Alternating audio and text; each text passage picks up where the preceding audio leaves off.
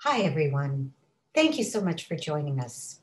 I'm Vicki Goodman, and on behalf of the Friends of the Semel Institute and the Resnick Neuropsychiatric Hospital Board of Advisors, I am excited to welcome you to today's Open Mind program with Dr. Dilip Jeste, world-renowned neuropsychiatrist and author of the new critically acclaimed book, Wiser, The Scientific Roots of Wisdom, Compassion, and What Makes Us Good. Dr. Dilip Jeste will be joined in conversation by Dr. Shafali Jeste, his highly accomplished daughter, who is a professor of psychiatry, pediatrics, and neurology at the David Geffen School of Medicine at UCLA.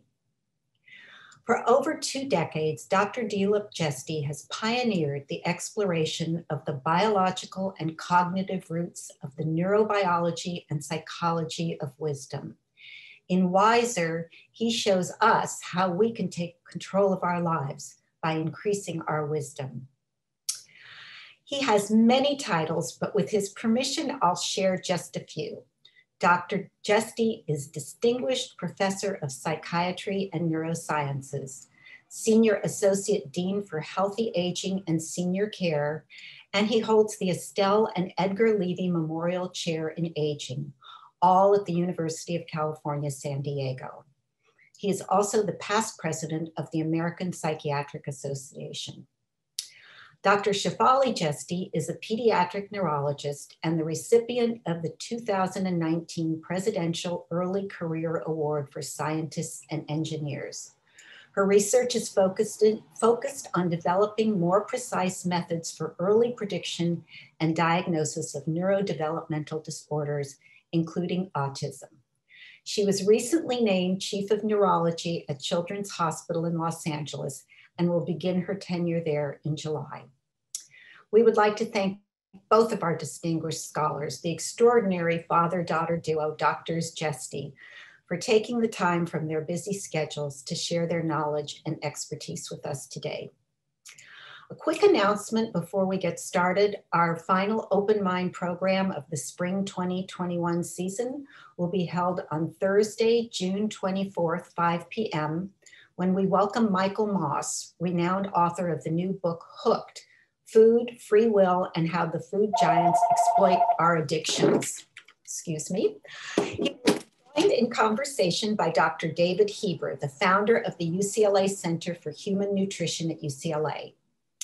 Please visit our website, friendsofthesemelinstitute.org, to make your reservation for this program and to see a complete listing of all our upcoming fall open mind events. There you will also find a link to our YouTube channel, which has a complete library of videos from past programs and our recent WOW 2021 fundraiser. We hope you will enjoy exploring and watching those you may have missed. Today's program will run for one hour and 15 minutes, ending at approximately 6.15 p.m. It is being taped and will be available for viewing on our YouTube channel tomorrow. Lastly, the last segment of today's program is reserved for your questions. Please type your questions into the Q&A, which is located at the bottom of your Zoom screen. And we will do our, our best to get to as many questions as possible during the time allotted. Now let's give a warm Zoom welcome to Dr. Dilip Jeste, who will speak first and then welcome Shafali to join him. Thank you so much.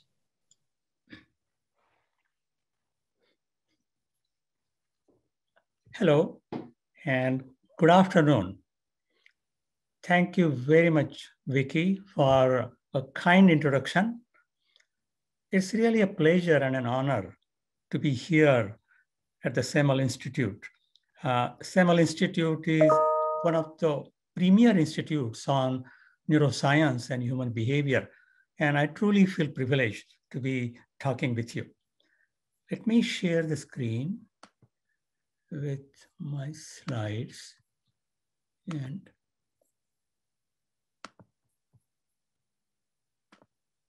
okay, I think uh, you all can see my slides, right? Good. So I'm going to talk for about 20 minutes. Uh, I also want to thank uh, Shafali for taking time to join. Shafali is more busy than I am, And I'm really happy that uh, she can be here.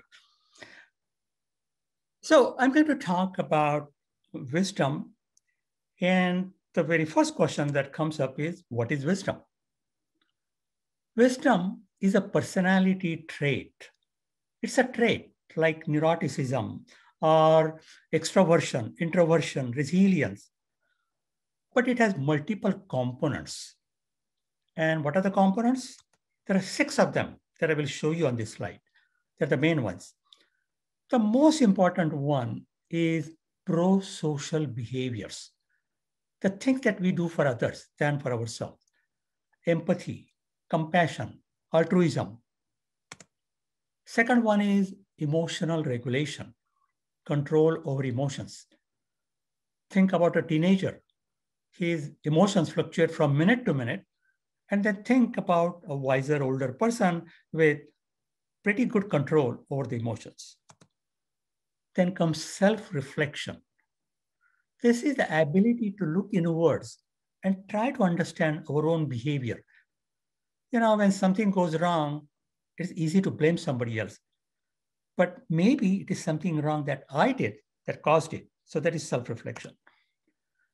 Then comes one thing that is sadly lacking in these days that is accepting uncertainty and accepting diversity of perspectives. So I may have strong values about something, but I can understand why somebody else may have different values, and we can still be friends. We can still respect each other. Decisiveness. So although we accept uncertainty and diversity of perspectives, we have to be decisive when needed. We cannot be sitting on the fence all the time. And the last and probably the most controversial component of wisdom, not accepted by everybody, is spirituality. Spirituality is different from religiosity. Religiosity refers to organized religion. Spirituality doesn't have to do with religion. An atheist can be spiritual. Spirituality means constant connectedness, connectedness with something or someone that we can't see or hear, whether you call it spirit, soul, consciousness, or God. So those are the components of wisdom. The question is then how do we measure wisdom? As I said, wisdom is a personality trait. And most personality traits are measured by scales that have a bunch of items that describe behavior. And you have to say to what extent you agree or disagree with those statements about your behavior. So we developed the San Diego Wisdom Scale or Jeste Thomas Wisdom Index. Michael Thomas is my colleague, psychologist, and expert in scale development.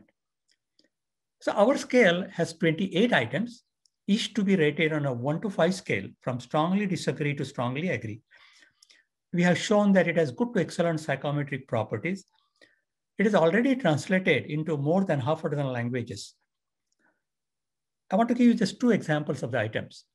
One is, it is important that I understand the reasons for my actions. So this is self-reflection, trying to understand why I did something. Another item is, I have trouble thinking clearly when I'm upset. So this is opposite of emotional regulation. That means when I'm upset, my emotions overtake me and I cannot think logically. I think everybody should take this scale or some other scale for wisdom. And this scale, by the way, is there in our book as well as on our website. While describing the scale, I should also mention that wisdom, like other personality traits, is biologically based. It is based in the brain, obviously. Where in the brain? Two main parts of the brain that are involved in wisdom are prefrontal cortex, which is the newest part of the brain in evolution. And the other part is striatum, especially amygdala, which is the oldest part of the brain in evolution. So it's fascinating to think that wisdom involves newest and oldest parts of the brain. The prefrontal cortex, within that, there are specific regions that are important. Dorsolateral, ventromedial, anterior cingulate, insula is also important. And in the striatum, amygdala is critical as an emotional center. About uh, seven, eight years ago, we did a study of what happens to physical and mental health with aging. So we put together a large sample of about 1,500 people selected using random digit dialing. And we have been following that sample now for about 10 years, from age 21 to 100 plus. And we wanted to see, as I said, physical and mental health. So physical health, as you see, is at its highest in the 20s and 30s. That's a fountain of youth, right? The physical health is at its best. And after that, it starts slowly declining. After 60 and 80, of course, the decline becomes faster. What about mental health? What about mental well being? It goes exactly in the opposite direction. And that is the paradox of aging. So 20s and 30s, it's a fountain of youth, I said. It's also a fountain of depression, anxiety, stress, distress. This is the group in which suicides are rising. The good news is that as we get older, we get happier. And happiness is not the only thing that improves with aging. A number of studies have shown that several ability areas are better in older people than in younger ones. They include emotional regulation. So as we get older, we have better control over the emotion. Positivity. In younger people, the negative things, negative memories, negative incidents are like a Velcro. In an older person, they are like Teflon. They don't matter. Then comes empathy and compassion, the things that we do for other people, self reflection. And finally, decisions that require experience because experience comes with aging. So, if you just remember the slide I showed you about the components of wisdom, these are all components of wisdom. So, there is a lot of data, mostly cross sectional though, that suggests that older people have higher levels of components of wisdom than younger ones. I'm a geriatric psychiatrist. And one thing I have wondered for a long time is why do we age? Why do humans age? Because human aging is inconsistent with Darwin's hypothesis of survival of the fittest. What is Darwin's hypothesis? He said that animals, vertebrates, live only so long as they can produce children, right? Because we need to produce children in order to make up for the loss of the dead ones. Then only the species will survive. And that's what happens for most animals in the wild, not to humans. We lose our fertility around the age of 45, 50. That's called menopause in women, andropause in men. And yet we lived, let's say, if somebody lives to age 90, that means they have spent half of their lifespan without fertility, without contributing to the species survival. How is that possible? How does the nature allow that? So must be something improves with aging in later life. So there is something called grandmother hypothesis of wisdom. What is the grandmother hypothesis? So you see in the picture that at the top, those are the grandparents. And of course, the grandma is more important than the grandfather. Then you see in the middle row, uh, an adult daughter. If the grandma helps the adult daughter raise children, the adult daughter lives longer, is happier, and produces more children than her mom did. So the grandma, she cannot produce children anymore, but she can help happiness, longevity, and fertility of the younger generation. And that is the grandmother hypothesis. And by the way, this is the research that has been published in the top journals such as Nature and Science. Some of my colleagues at UCSD have reported on the presence of what they call grandparent genes. These are variants of CD33 and ApoE that allow your brain and heart to function well into old age. And the usefulness of older people for younger generation goes beyond fertility. This was a large study of um, 1,500 plus secondary school students between the ages of 11 and 16 in the UK.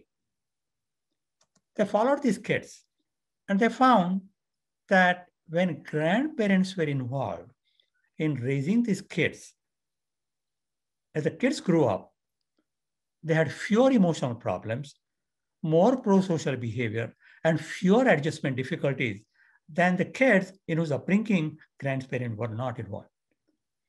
And this was especially true for teenagers coming from single parent or step parent families.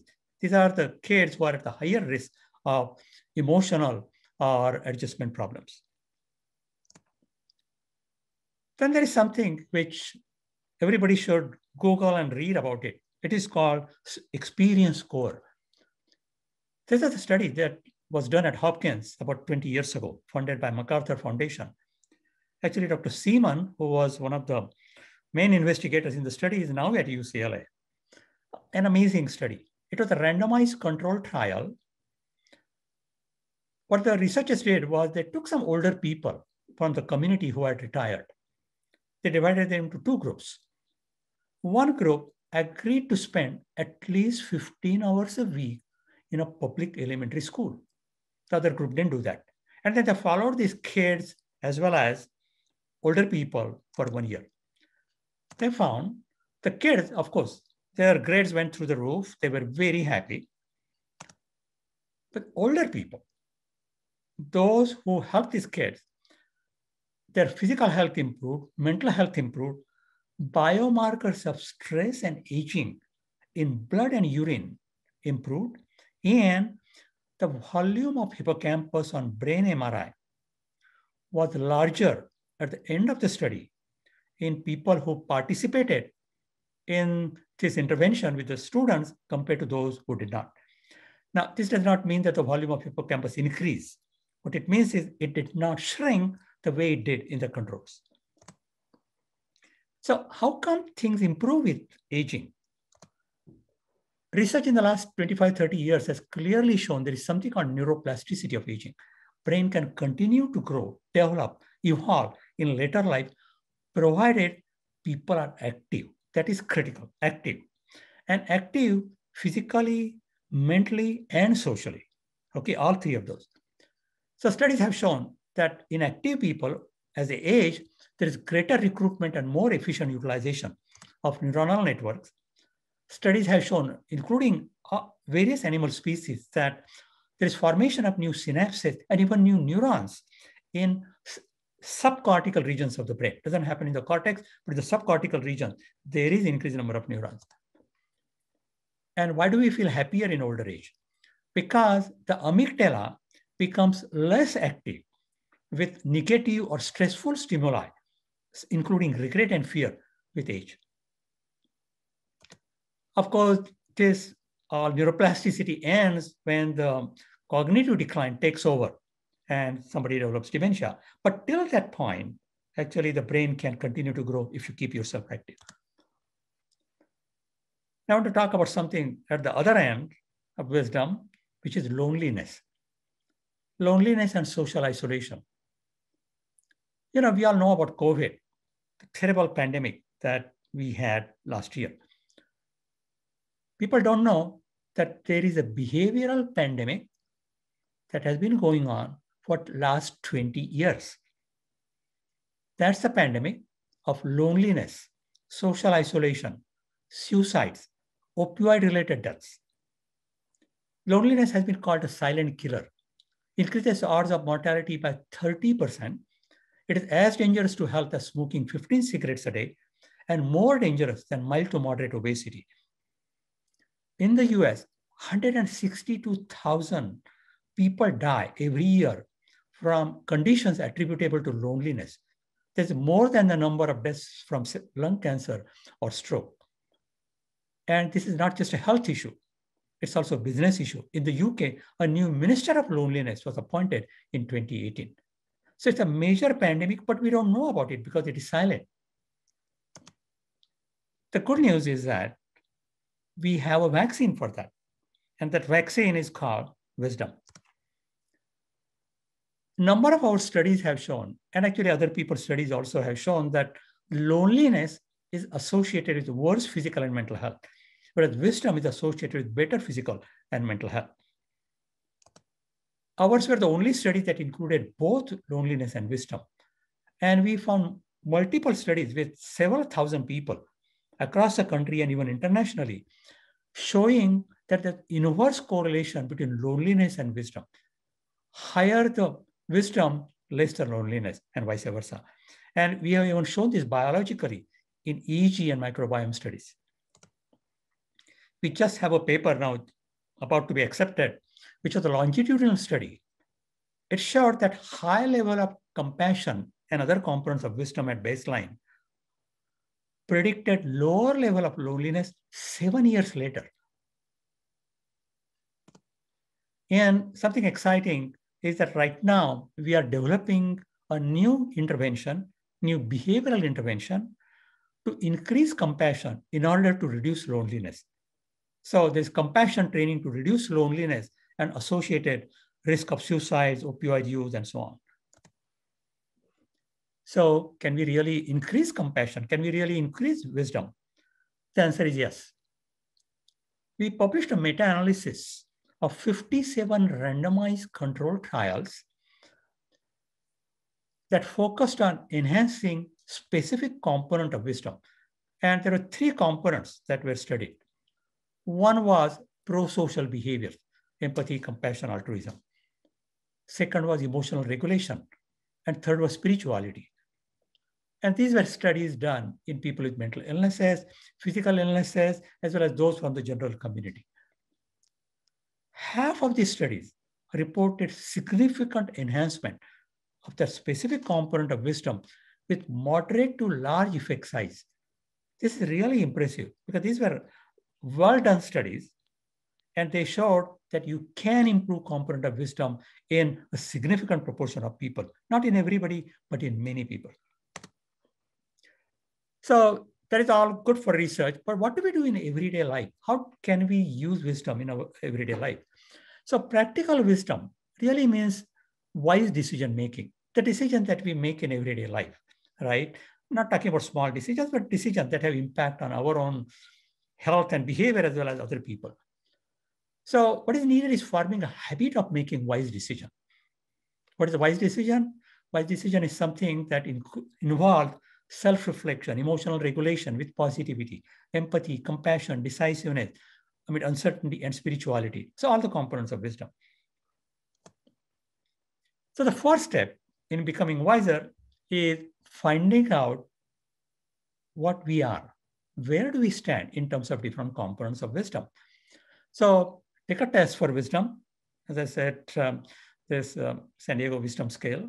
Uh, and that will tell you what components you are strong in versus ones you are weak in, where we may need some help. Okay, so if I find that my compassion level is low, what do I do? So there are ways in which we can enhance compassion. One is role playing. You know, put on blindfolders, blindfolds for 48 hours, or try to be in a wheelchair for 48 hours.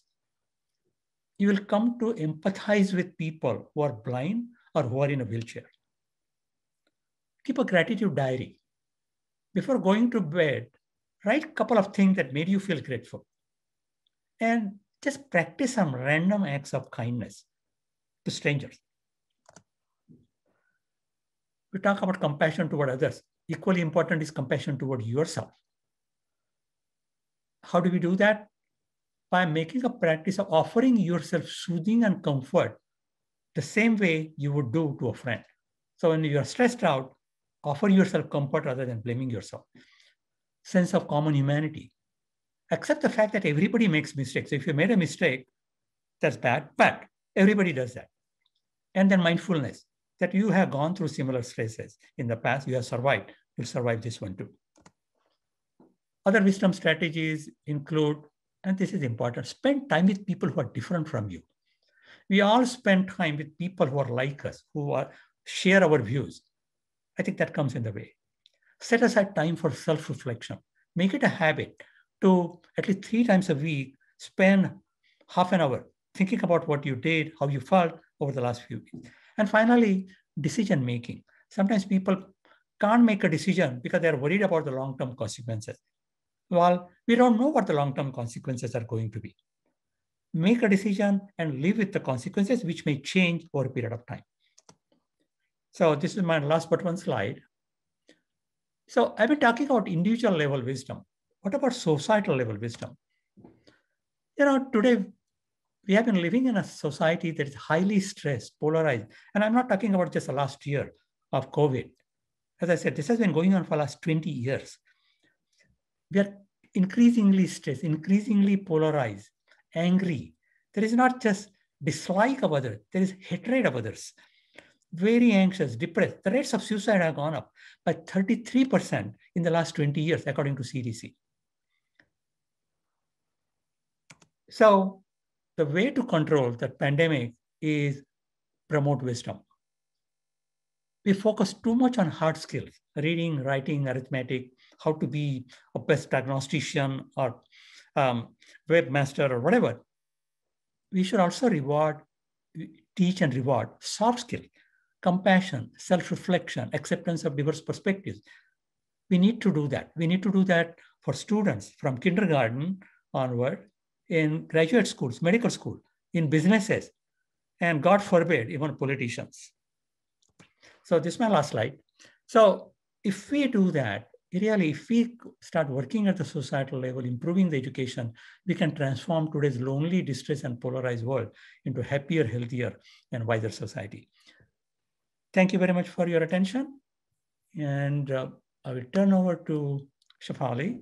Uh, and uh, at the end, there will be time for question and answer from uh, the audience. Thank you.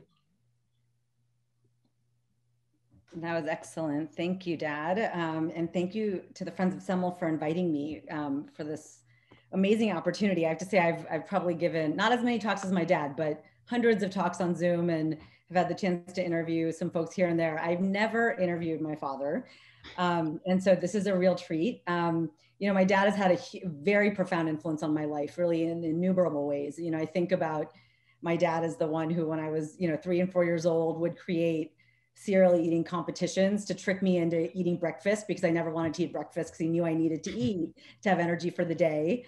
Um, all the way to, you know, into my adulthood, really being the one who helped me weigh complicated personal decisions, career decisions, um, and, you know, my dad has also really been a mentor by example. You know, dad, you and mom came to this country from India shortly before I was born with very few resources outside of a very, very strong education, a lot of intellect, and a tremendous amount of ambition.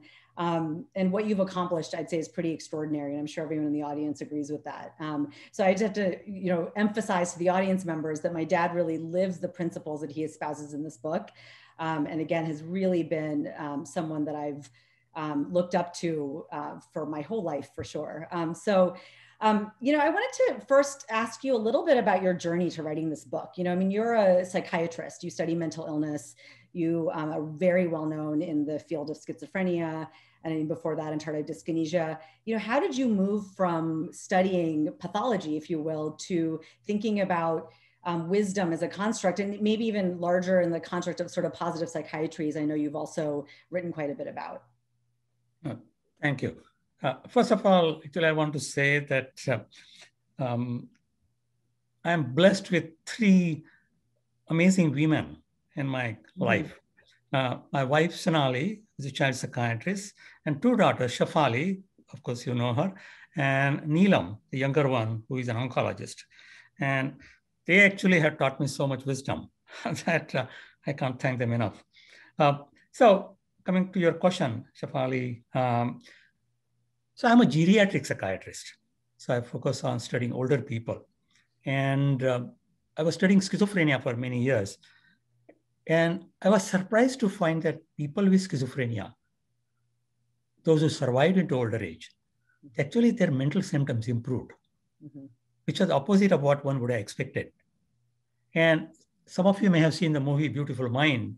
It's a true story of uh, John Nash, Nobel laureate, who had suffered from schizophrenia, started getting better. then we did a study that I showed you the slide about where actually the paradox of aging, right? Physical health declines, but mental well-being improves. And so why does it occur? I mean, I, I thought that was a mystery. And then I remembered when I was growing up in India, like most Eastern cultures, we were taught that older people are wiser. We should respect them because they're wiser. And it suddenly struck me that maybe people are getting happier because they may be wiser. But wisdom, wisdom is not a scientific entity. It's a province of uh, priests and philosophers. Around that time in 2007, actually I remember very clearly in May of 2007, there's a, an article published in New York Times Sunday Supplement by Stephen Hall. The title was Older and Wiser Hypothesis. And it, it's a long article which describes some research being done on wisdom. Until that time, actually, I didn't know that there was research being done on wisdom. And so I read the article, I was fascinated. I said, wow, this is something true. So then actually I started with the literature review. And so the first book, actually paper I published on wisdom was in 2008, year later. And that paper was on wisdom in the Gita. So that's the Indian kind of Bible, which is thought to be um, really epitome of wisdom. Uh, and then in 2009, the paper I published was on neurobiology of wisdom. And so, so I actually, the more I studied, the more I got interested.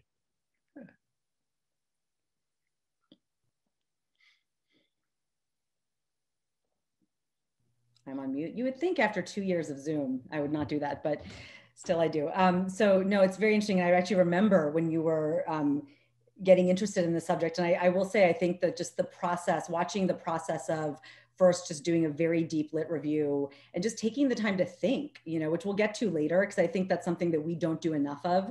Um, i think that clearly was important for you as you kind of laid the foundation for you know this work. Um, so we'll get to more of this but i have to admit you know our whole family took the Jeste Thomas wisdom mm-hmm. index you know, I'm a little competitive. We all are in the family. Um, both your grandsons, you should know, scored higher than I did. Not surprising. Um, but you know, I actually found it quite accurate uh, for me, um, and it, it, I did the scale identified areas in which I really could improve. Uh, like decisiveness, uh, and in or other areas where I was stronger, like in you know pro-social behavior and that sort of thing. But as we were taking the quiz, you know, my my sons, Nishal and Kiran, who are your grandsons, 14 and 12, who love their Abba and have known, you know, have, have loved you and have been close to you since they were born, said, I bet Abba aced this test. They were sure you had a five across the board. So we need to ask you, Dad, how wise are you? well, uh, the questions, of course, I don't know. Um, and, uh, I mean, I, for me, taking the wisdom scale is, is really complicated because I mean, I developed the scale and I'm too familiar with that. So, so I actually look at it from my strengths versus weaknesses within wisdom, as well as whether my score changes over time. And in terms of, so I found out actually that I scored lowest in spirituality um, because it includes things like belief in spirit, belief in um, um, life after death. And these are sort of where I felt I'm neutral. I, I don't know the answer to that. Uh, I also didn't do as well on um, empathy and compassion. Part of that is because I compared myself with my wife and two daughters, and I found that I was less so than them. Uh, on the other hand, I did better probably Uh, for myself on emotional regulation and decisiveness. But the second question actually, which you asked just now, actually th that I've not done that before, but I just thought of that. I really think my components of wisdom have increased since I not only started doing research, but since I published this book and I've been giving talks. Because I found that I was preaching things and I better practice them. So if I preach people to be more compassionate, to be more self-reflective, etc., I need to do that myself. And I became much more self-conscious about them. And actually, I really find that my uh, scores have increased, uh, far from perfect, but at least I'm doing better. No, and that's actually a really interesting point. I was actually going to ask you next is, you know, do you, did you find that your scores or your, the way you answered these questions changed as you were researching and then writing the book?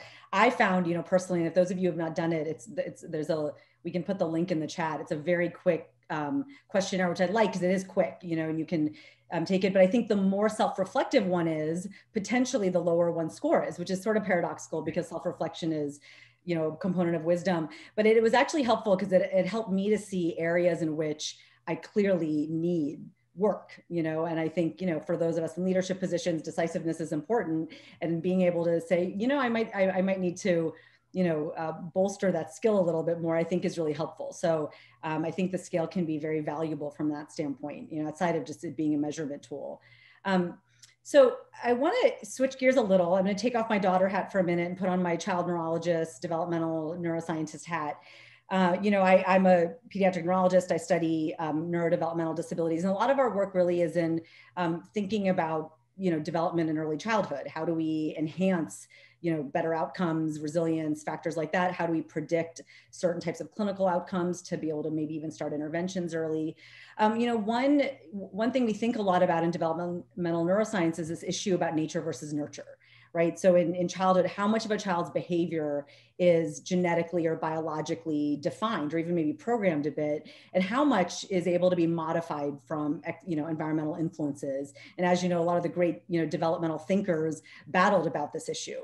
Um, you in your book give this great example of the famous Stanford marshmallow experiment, which some of you, if you've read the book, know. If you don't, you know, quickly, it's this great experiment where, um, you know, psychologists at Stanford um, worked with four and five year old kids and they put them in a room with a marshmallow. And they said, you know, you have this marshmallow, you can eat it now, but if you wait and don't eat it, we're going to come back in some period of time. It turned out it was like 15 minutes and we'll give you a second one if you don't eat that first marshmallow. And so really the test was really an executive function test to see how um, these um, kids were able to, you know, manage their impulse control in some ways. And what they found was actually that there was a range of behavior. Some kids ate the marshmallow right away. Some, you know, fidgeted a lot and struggled but didn't eat it, and some were completely fine following the um, the instructions.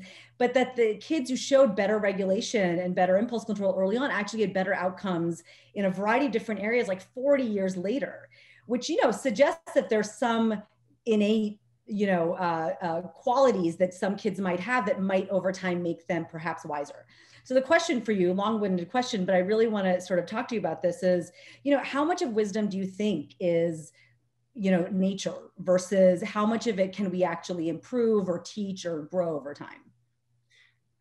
That's a great question. Uh, this is true this question also applies to other personality traits from resilience and optimism to neuroticism extroversion the, and there have been a lot of genetic studies of some of the other traits, uh, especially the big 5O, right? Uh, so usually about 50% of a trait is genetically determined. That means 50% is affected by environment and behavior. And even for the 50% that is genetically determined, we know that environment and behavior affect the expression of the genes right? So environment and behavior actually have much more influence on our behavior than we think we have. Of course, that varies according to the trait. For example, intelligence, IQ, doesn't change much even with training.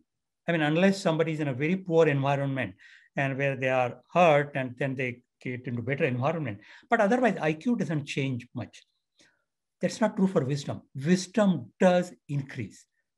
And that's a positive news that we can do something about wisdom.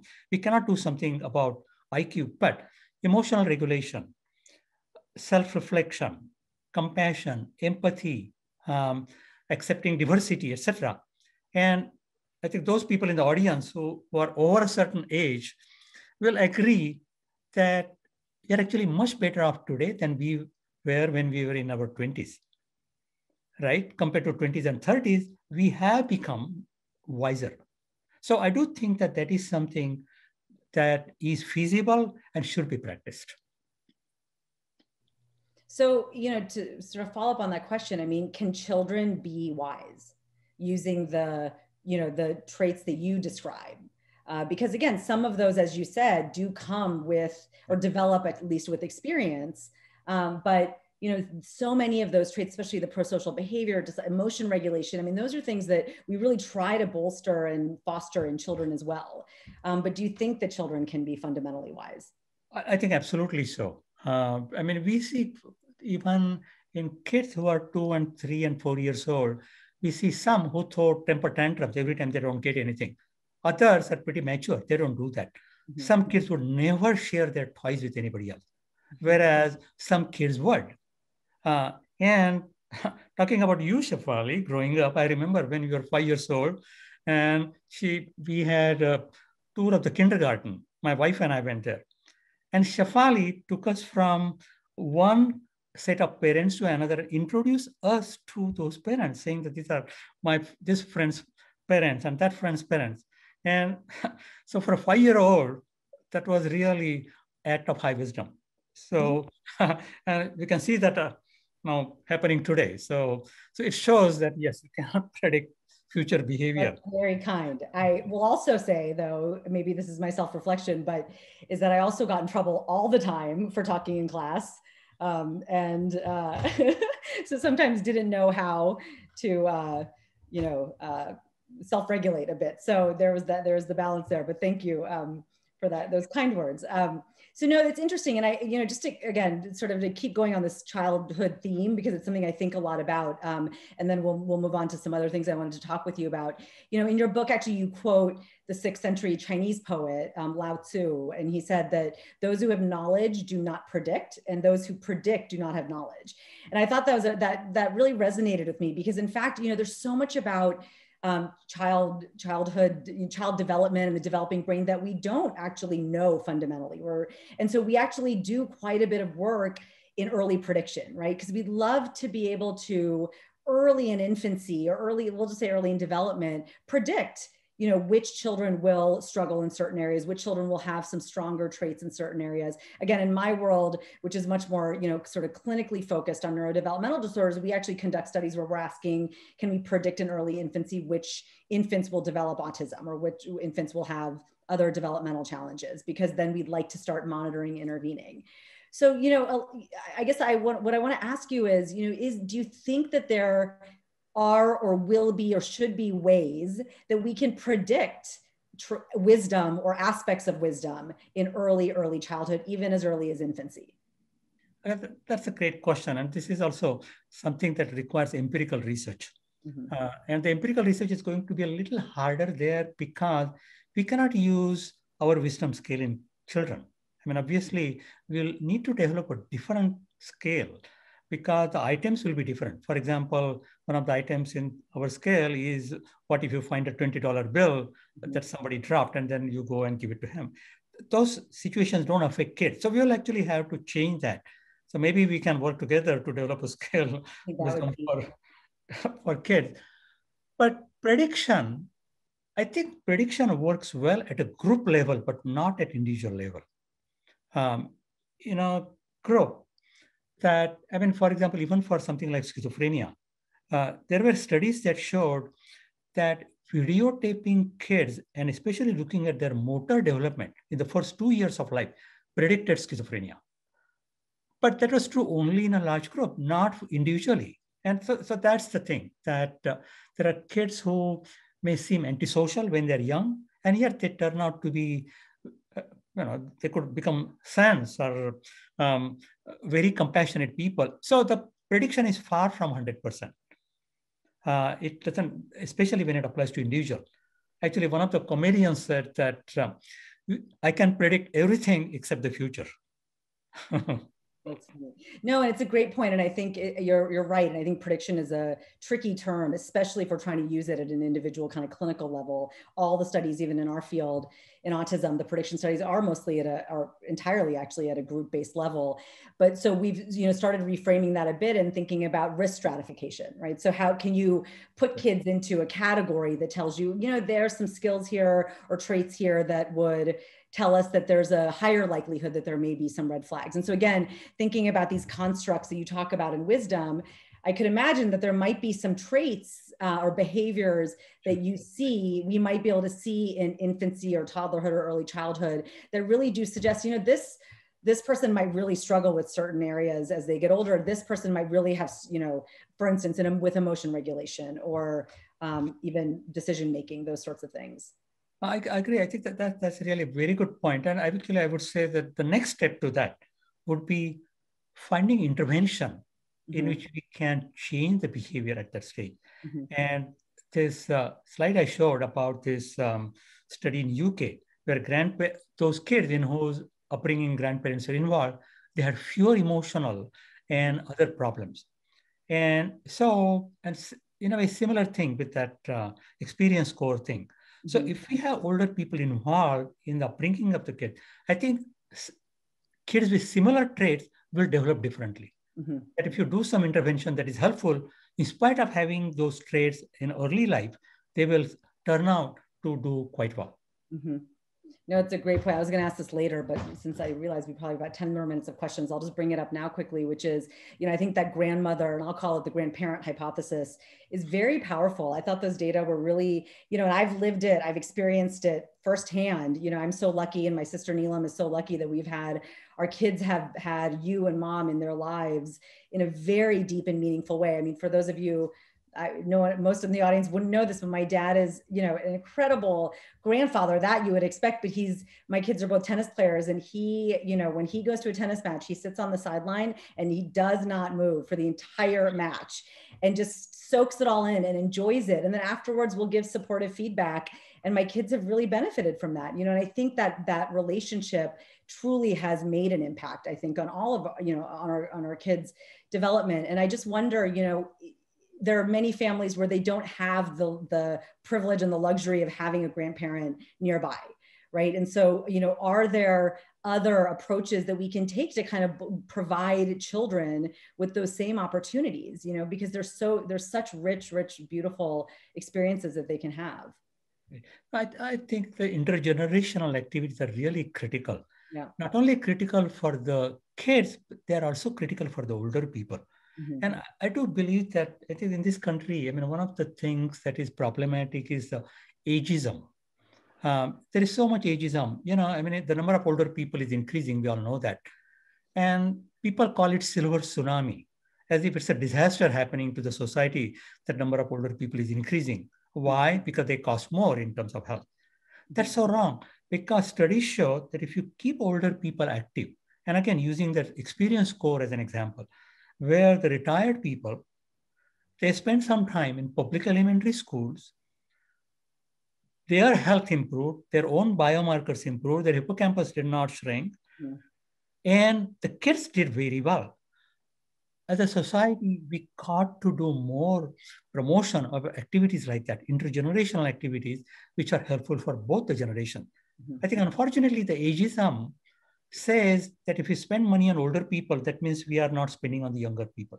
That's so wrong. There is no generational war. We really need to have, again, more intergenerational support that is needed for the society as a whole. Because if the older people are happier, if they are healthier, they will cost less. Mm-hmm.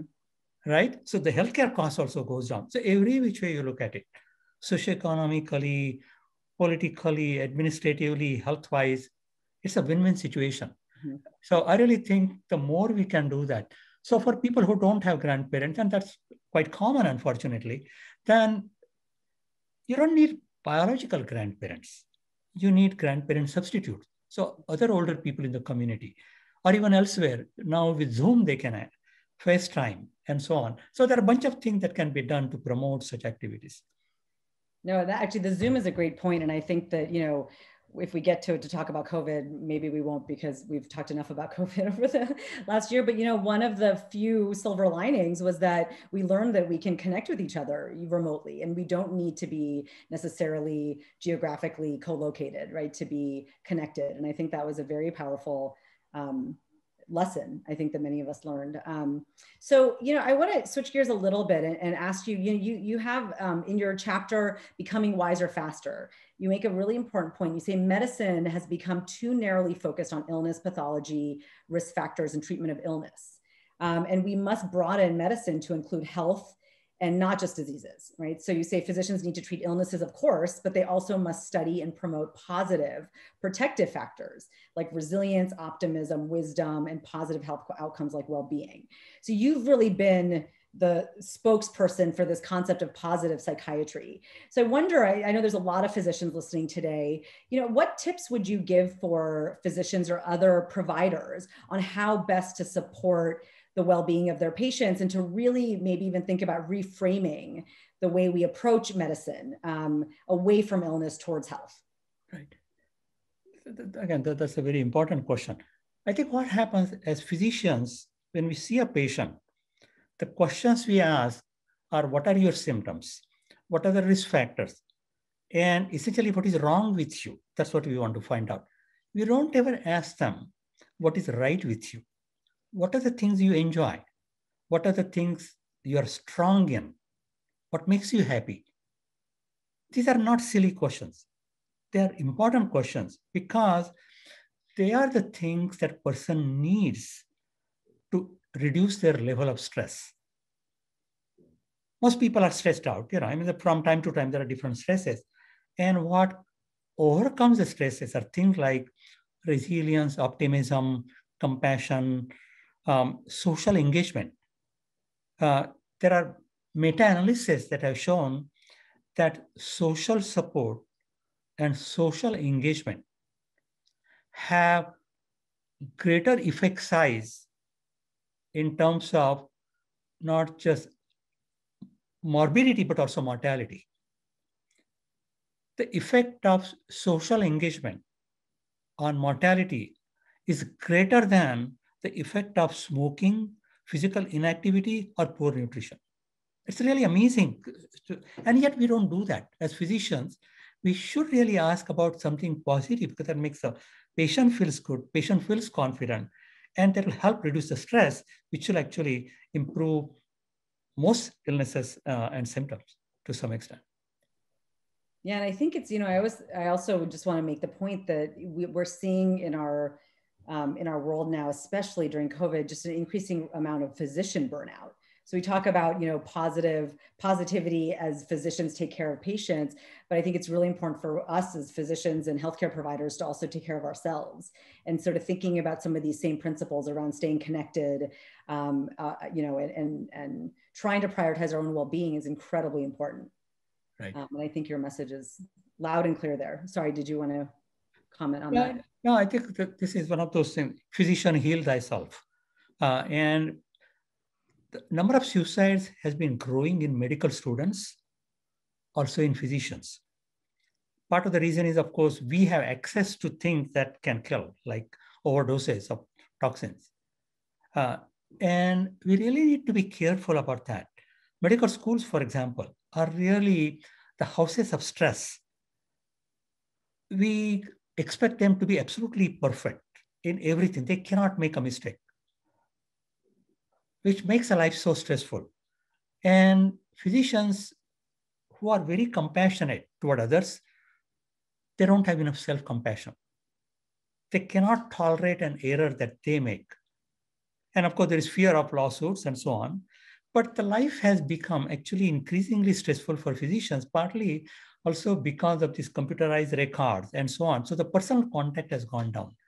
And that has not only affected patients, it has affected physicians. So I think that needs to change. I think one of the things I'm glad actually that is happening at UCSD uh, and some other medical school, there's now compassion training for medical students. You know, I really think this should start from kindergarten onwards we have classes for physical exercise, we have classes for arts. Why don't we have classes for self reflection, compassion, and emotional regulation? We should not only teach them, but we should also reward them. We shouldn't only reward them because they get the highest score or they win the championship. That's fine. But what about the sportsmanship award in sports, for example? And so on and so forth. I think this is something that is needed that, um, I mean, I know along that line too, that one of your sons actually got the sportsmanship award. And that's, uh, uh, I really appreciate their having that award there the same thing needs to happen actually. People need to be rewarded for compassion, empathy, and so on in schools and medical schools and physicians, so on. No, I think it's a fantastic point. Um, I have so many more things I want to talk about. We only have a couple minutes. I'm going to actually um, ask you a question that I think is really relevant in our society now. And as a, again, as a parent, I see this with kids, but I think I'm, I'm also guilty of this as well. You know, you talk so much about pro-social behavior being really a, a very critical aspect of wisdom. Uh, you know, and you allude a little bit and talk a bit about social media and sort of the changing landscape of social interaction and how that might impact our social behavior, social cognition. And I think, you know, I think a lot about this because it's true. Our social interaction has gone from seeing people in person and to, you know, forget about COVID for a minute, but just seeing people in person, talking on the phone to quick text messages that don't even have full sentences, let alone, you know, any kind of, um, you know, more direct kind of human contact you know, which I'm, you know, I, you would think maybe would affect, uh, you know, aspects of social cognition like empathy or theory of mind. Although at the same time, we're actually much more connected, although at a superficial level than we ever were before, right? Constantly, we're getting, you give the stat of how many text messages people get a day, three to 400 a day, depending on the age. So I just wonder if you could just comment on how social media and the changing landscape of social interaction has impacted either negatively or positively you know our ability to kind of uh, develop pro-social behaviors i think so, social media has been a mixed blessing and curse, no question about that. And it also depends on how it is used. And actually, COVID is a good example for that. So, with the restrictions that came in, in terms of social distancing and so on, younger people, their use of social media increased, more Facebook, Twitter, and so on. Older people, until then, actually, many of them had never used the social media. Some of them actually began using it, right? So original thought was that the older people would do terribly because they had more physical illnesses uh, with COVID, more severe complications, hospitalization, death. Uh, so they were at high risk of everything. And also they didn't know how to use technology. Many of them they didn't have technology, right? Younger people, on the other hand, physically they were doing great and they had all the technology. You know what happened to the mental health? The statistics are amazing. These are paper published in one of the JAMA journals recently. They found that the prevalence of anxiety, depression, and stress was 75% in people between 18 and 25. Okay. Whereas in people over 65, it was only 15%. And I think part of that, I really think is related to social media, not entirely, but partly that social media because the younger people had hundreds, if not thousands, of contact, very superficial, sometimes very negative. They actually had a negative impact on their mental health. But older people used it in a very limited fashion and only with those people they knew. So that actually improved the quality of their relationship and they did better. So, so your point is very well taken. I think social media, if they only help foster superficial relationships, which are often negative, they are not helpful. Yeah, and I think we need to really, you know, again, as you said, it's sort of a blessing and a curse. I mean, I think this is for for our current, you know, uh, landscape that this is how we communicate. It is at a somewhat more superficial level, but it does allow us again to connect with more people. So I think, you know, as I think through this as you're talking, you know, I think even as us as parents, helping our children ensure that they still maintain and develop those more you know real relationships you know while still having that constant contact with the hundreds of others that they can i think that's really going to be important. Um, because it could again as you said be very helpful because it does actually allow people to stay connected in some way.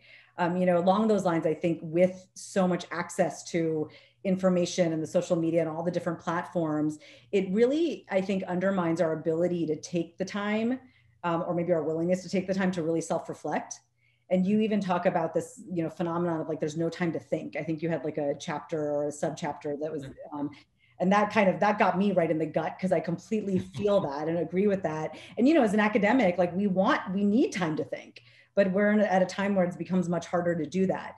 Um, you know, do you have just as lasting sort of uh, final thoughts, you know, any advice on how for all of us who are in this very, very busy information filled world, how do we take that time um, to think?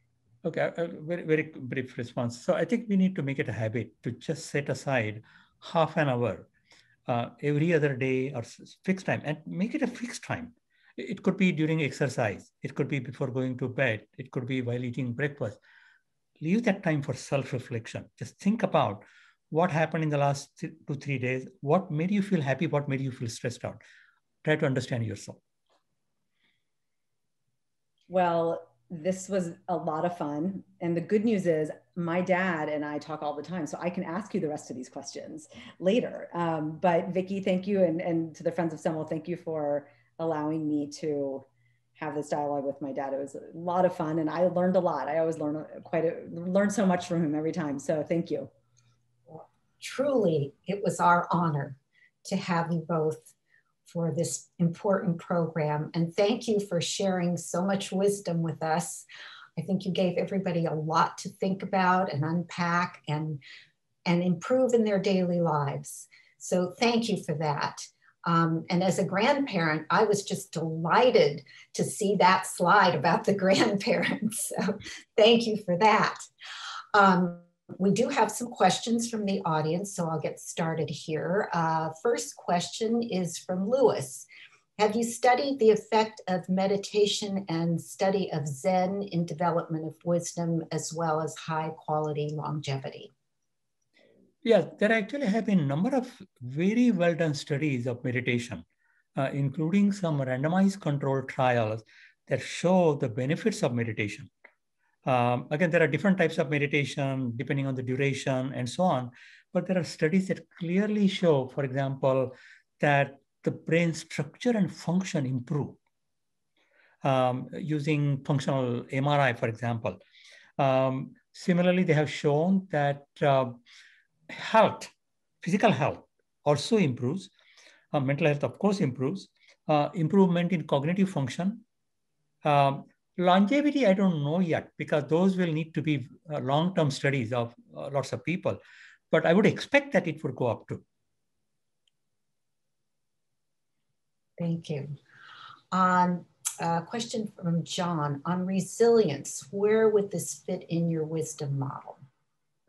So resilience is actually an in, important part of wisdom. So what does resilience mean? Resilience means facing the stress in such a way that you actually grow from it. So it's like instead of post-traumatic stress disorder, you develop post-traumatic growth.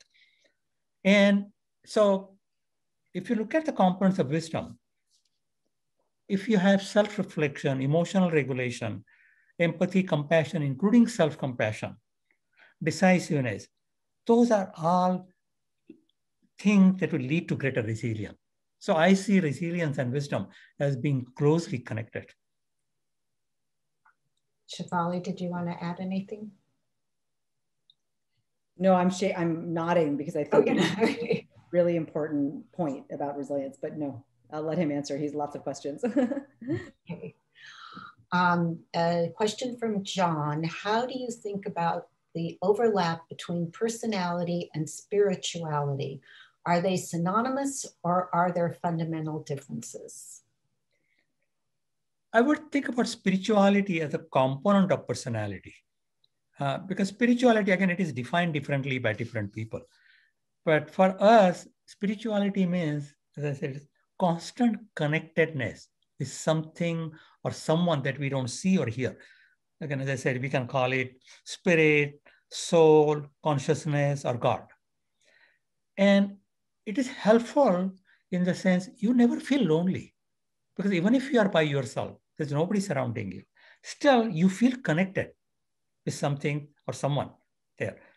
And that gives a sense of calmness, some control, feeling good about yourself. So it is going to lead to less stress and more happiness. Again, that doesn't happen to everybody, but many people it would. Uh, so, so I would say it is more of a part of a personality than personality itself. Thank you. Um, question here about wisdom in twins and siblings. Um, and asking, you know, is there a study on that? Uh, that this is from Pat, and wondered if you could comment on that. Thank you for asking that question, and I hope that people in the audience who are geneticists or that they would study it. I think one of the problems with wisdom has been that until recently, wisdom was not studied by people in the medical field or by neuroscientists. So wisdom research has been a province of gerontologists, sociologists, and psychologists, not biologists. And that's why a number of important studies remain to be done. And they include genetic studies, including twin studies. Um, and really, we need science along that line. Uh, so we are actually trying to see if we can connect with some group that is doing genetic studies and all that they have to do is add a scale for wisdom and then we can study it. So this is, uh, it's a really important question. I mean, my sense is that, as I said, wisdom is probably, I would say more than 50%, I would say about 60, 65% environmentally determined and about 25 to 35% genetically determined. So we will see some similarities between twins, but they will not be 100% similarities. Fascinating. Thank you. A uh, question here from Melissa. Have studies been done showing the relation between bipolar disorder and wisdom? And I know you study schizophrenia, so we can add that there too. You know, that uh, it's really very interesting question, bipolar. I mean, probably what you probably also wanted to ask was uh, if there is a difference in the bipolar patient uh, between the phases of depression versus uh, hypomania. Mm. Great question. Again, we need to study that. Again, so we published a paper on um, wisdom in schizophrenia. We compared with uh, healthy subjects, non-psychiatrically ill. And as expected, schizophrenia is associated with cognitive impairment, obviously, uh, and psychotic symptoms. So their scores on wisdom were lower. However, they were not lower on pro-social behaviors. They were as compassionate, empathic as uh, other people. And importantly, we found that within schizophrenia group, those who scored higher on wisdom, they had better mental health, better physical health, better cognitive functioning. And they're also more likely to be adherent to treatments Again, somebody like John Nash uh, or here Elyn Saks, at, uh, she's on the UCLA USC faculty, great examples of people with schizophrenia who display high level of wisdom. Uh, Elyn Saks has actually spoken for us several times, and she is a very wise person in many, many ways. Um, comment here from Maury and question. Your family is inspirational, and I will second that. Amazing. Um, many families don't even have a live-in father. How do we convey this information and the related transcendence to these overwhelmed mothers, single mothers? There is no question about that. The help is needed. There's no question about that. And when we talk about help for single mothers, we talk about financial help. That's not the only help that is needed. Mm-hmm. The kids need more. And there should be some programs that are facilitated by schools, businesses, and government, where I think that's the worst deprivation that the kids have is when they don't have parent and grandparent substitutes. Um, and in a way, coming back to this parent question, then the study I showed about the study in UK, where they com compared kids from single parent families who in whose upbringing grandparents were involved with those in whose grandparents are not involved, significant difference in how they grew up. So I would say that anything that can be done to get older people's involvement in their upbringing would be very helpful. Oh, sorry. It got very windy outside and our door slammed. I'm so sorry. Um, well, I'm so sorry to have to end this conversation because it has been fascinating and full of so much wisdom. Thank you both um, for taking the time to participate in our open mind. We're really grateful to you. And um, I think we all leave just a little bit wiser. So thank you. And I wish everybody a healthy and wise evening. Thank you, Vicki, for having us here. It was a pleasure. An honor. So much. Truly.